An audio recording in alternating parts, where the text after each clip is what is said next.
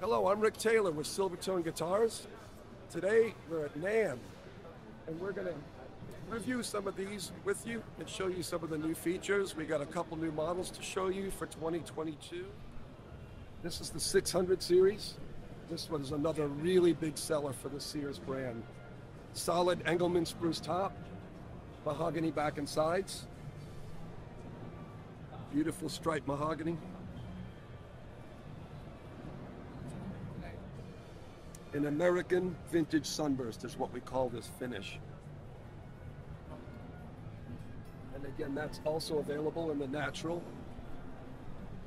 Could, this one really shows off that Engelmann spruce. Super tight grain, makes a great top. Just a very simple guitar. Mahogany back and sides.